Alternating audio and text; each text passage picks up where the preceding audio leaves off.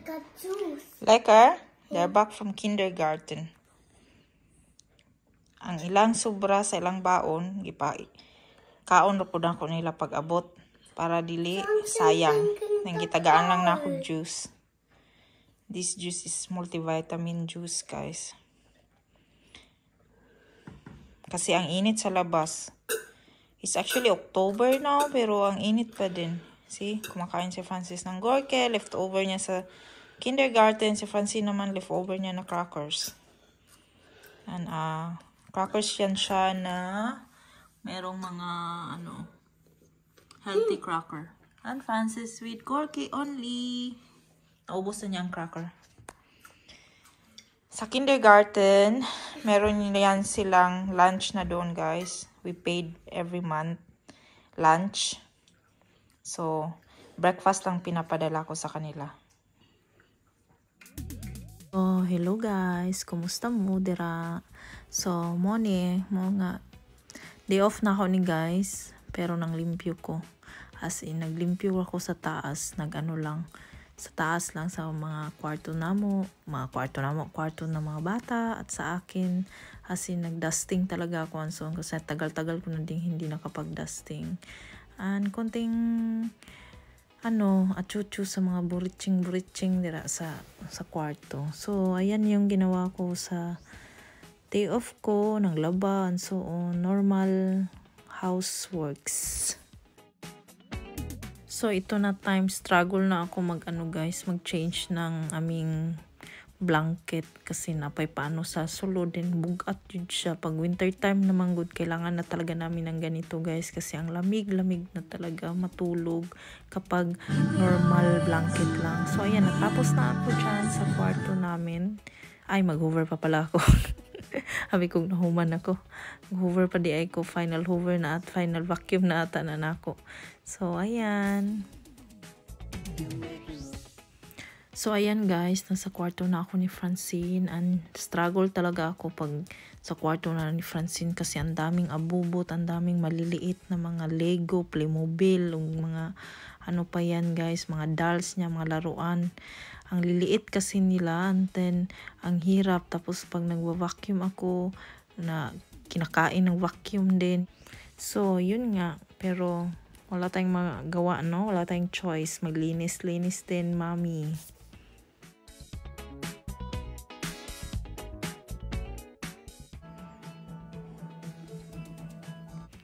So, yan guys. This time nasa kwarto na ako ni Ella. Kwarto na Ella, nag-vacuum lang talaga ako niyan. Yan. And then, ito naman yung kang Francis. Vacuum lang din. Hindi masyadong madaming ano sa sahig. So, hi guys. Magluto ko pa ni hapon. Mag-adobo ko na adobo na hindi complete ingredients kasi yung toyo ko is lasaw. Hindi siya pareha sa atin na tuyo na yung sa silver swan bitaw. And then nagkalat ang kusina. Magluto ko. Pero ihiposan ako ng rice cooker para na akong plats.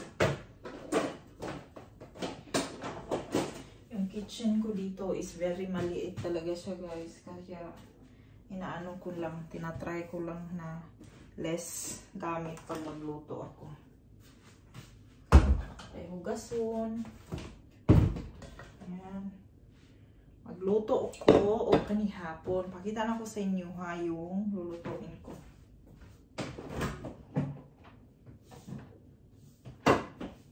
So, habang naglilinis ako kanina, pinamarinate ko to ni Ella.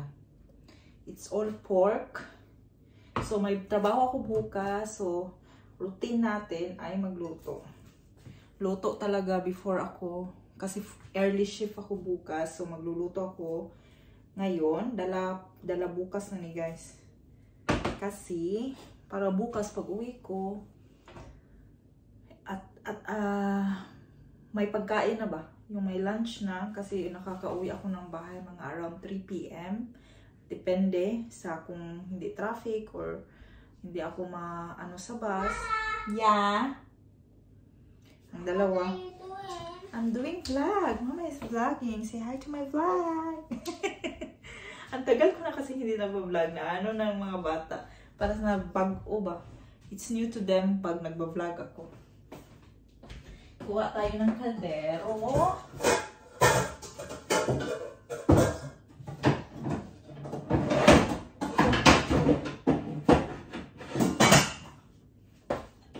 My favorite kaldero. Ito yung lulutuan ko. Oh, May sibuyas akong gigutan ganina. I'm very pagod. Maliligo pa ako guys. May sibuyas. Pero dagdalagan ko siya ng madaming garlic. Ayan. Garlic. I'm very pagod. Kanina gusto ko mag-nap. Hindi ako makapag-nap. Parang may problema ata ako sa tutulog. Gusto kong mag... Uh, uh, dami kong ginawa sa aking day off. I have actually 4 days day off. So, nag-gardening ako sa front yard namin. Nagkat ako ng grass, ng mga tree, ng mga mga sagbot. Kaya ano na ako. Tapos nag-ano ako. Ano ba yan? Nag... Naglaba. Tapos ako Monday, nung Monday meron akong college course. Tapos, ano ba? Kanina nga, nag-change ako ng linens at nag-vacuum ako many times actually. Sa aking 4 days off, I think nakapang tatlong vacuum ako dito sa bahay. Kasi ang very dusty pag summertime, ang ano, ang ang dust ba, ang abog bitaw, dali akong sulod. Ewan ko. And then, yun nga. Si Mayor is not here. Actually, Mayor is in sick leave. Naka-sick leave yun siya kasi yung broken niya dito for 2 weeks na. 2 weeks siya naka-sick leave pero wala siya dito ngayon. Sick nga na pero ginamit niya yung time na yun para gawin ang ibang dapat niyang gawin. So kami lang. Dinala ko kaninang umaga, mga bata pagising ko, wala na dyan, so wala na si Mayo. Dinala, dinala ko ang mga bata sa kindergarten at yun nga, naglinis-linis ako, naglaba. And then my plan is to put up already the Christmas tree guys kasi iba yung amb ambience pag may tree. Mambi, feel mo ba na something to look forward every day when you wake up? Ay, malapit na Pasko para sa mga bata. So, akin lang itong gawin kong garlic. Madaming garlic ang sagol na ako. I-adobo lang. I-adobo lang ito na simple na adobo. Basta lang may magulam. Wala kasi kayong gulay eh. Kaya lagi kami nagsasala dito kasi walang gulay. Yan, ito lang to. Chop. At hindi ko na din siya i ipino. Idukduk rin ako ang ahos. And yan na. Pagod na ang mga bata after kindergarten. Pero pinag pinag-gadget ko sila guys. Sa labas sila ka na after kindergarten. Ha? After kindergarten. Nag-farad sila dyan or bicycle. Farad. Bicycle in Deutsch is farad. Sa labas. Nalaro ko sa konti. Kasi ako para akong yung hangover bitaw.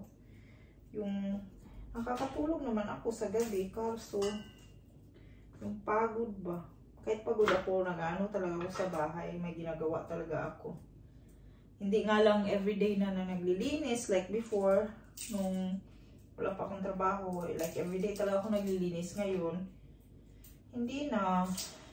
Hindi na everyday. Pero pag may, pag may, ano ako, time at saka sinisipag, naglilinis talaga ako. And today nga, hapon pa sana yan, ikakabit ko yung Christmas tree eh. Kaso, gusto ko siya ikabit na nandyan ang mga bata para we do it together. And then, yun.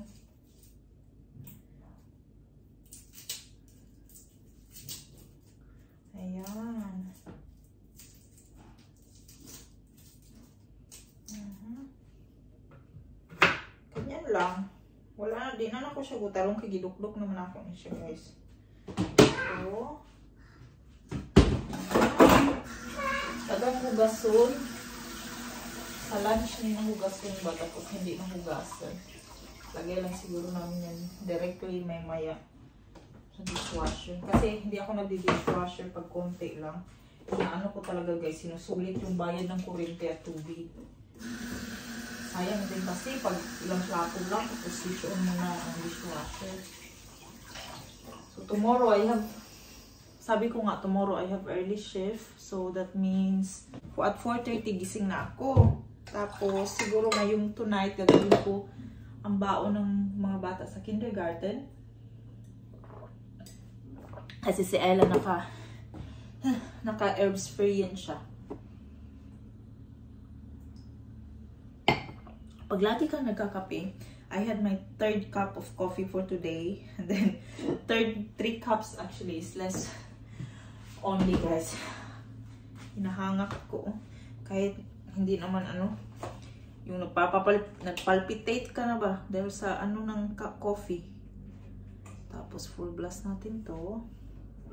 Tapos lagay natin yung, hindi na ako maglalagay ng oil. Kasi mag-oil to eh. Lagay ko na dito yung karne. Pero ipaano ko yung mayroong, ganito ba, mayroong fat. May ako ipaiuna. Pauna na ako siya butang. Para yung fat niya is mag, mag malanay. Hindi malanay, ma, matunaw. Tapos pag natunaw na siya, yan yung mag-oil, di ba? So, ayan. So, hindi na ako gagamit ng oil para yung oil niya, yun yung gagamitin natin panggisa ng panakot niya. So, so ito, niluto ko guys hanggang bukas na to, pang lunch na to. Kasi yung mga bata sa kindergarten, may free lunch na sila doon. It's actually not free kasi binabayaran namin yan siya every month. Hindi, walang libre. And then sa Frühstück naman or breakfast nila, breakfast in Deutsch is Frühstück. Pinapabaunan ko sila ng pagkain kasi nagbe-breakfast yan sila sa sa kindergarten. So dito, pag alis nila sa bahay, pinapainom ko lang sila ng gatas. And then, pinapadalan ko sila ng baon. Yun lang. Kasi dito kasi guys, yan yung mga, ano nila, kasi yung mga parents, busy. And then, so ayun. Pinapadala ng, ng breakfast. And then, yun na sila kakain. Then, ang lunch nila, catered na sa school, ay sa kindergarten. Doon na niluluto. So, warm. They have warm food.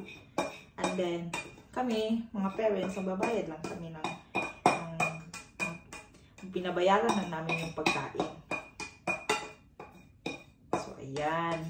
Ano ko muna siya, pakupsan.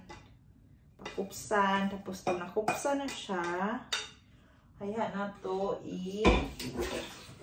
Tsaka ko siya